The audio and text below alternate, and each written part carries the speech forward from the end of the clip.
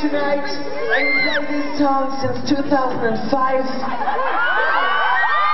Every night in every city, and from that last song, I need all of your last energy. Every single voice in this venue tonight for Monsoon, everyone!